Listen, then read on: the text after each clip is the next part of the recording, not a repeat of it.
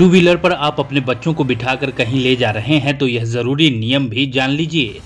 आने वाले वक्त में नौ महीने से चार साल तक के बच्चों को भी दुपहिया वाहन पर सफ़र के दौरान हेलमेट ज़रूरी होगा।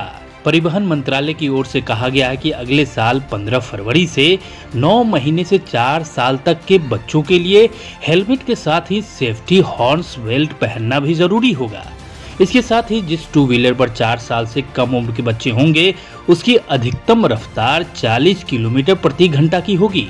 इन नियमों का पालन नहीं करने पर हज़ार रुपए का जुर्माना और तीन महीने के लिए ड्राइविंग लाइसेंस निलंबित करने का प्रावधान है।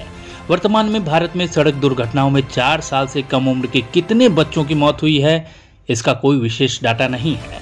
सड़क परिवहन और राजमार्ग मंत्रालय ने 15 फरवरी 2022 की अधिसूचना के माध्यम से सी एम बी आर के नियम 138 में संशोधन किया है और चार साल से कम उम्र के बच्चों के टू व्हीलर पर ले जाने के लिए सुरक्षा उपायों से संबंधित मानदंड निर्धारित किए हैं।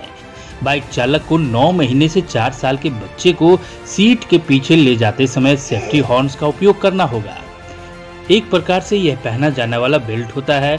इसको पहनने के बाद टू व्हीलर से बच्चे के गिरने की संभावना नहीं रहेगी। यह एडजस्टेबल बेल्ट होता है और राइडर से बेल्ट बंधा होता है। इस बेल्ट को बच्चा पहनता है और इसका एक हिस्सा टू व्हीलर चलाने वाले के कमर से लॉक हो जाता है।